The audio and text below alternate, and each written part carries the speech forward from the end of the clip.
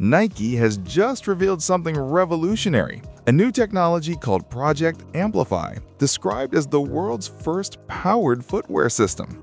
It's not made for professional athletes, but for everyday people.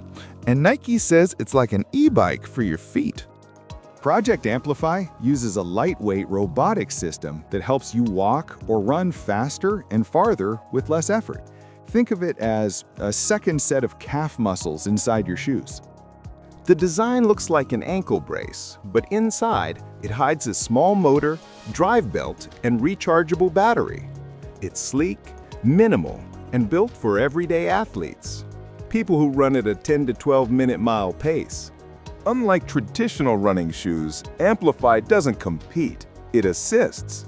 It's for anyone who wants to move smarter, go farther, and save energy. Nike says if you have a body, you're an athlete.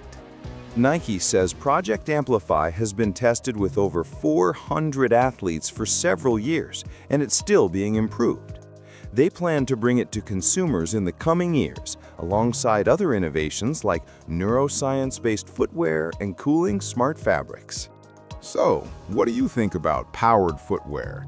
Would you wear shoes that literally give you extra power to move? Let us know in the comments, and don't forget to like and subscribe for more tech updates.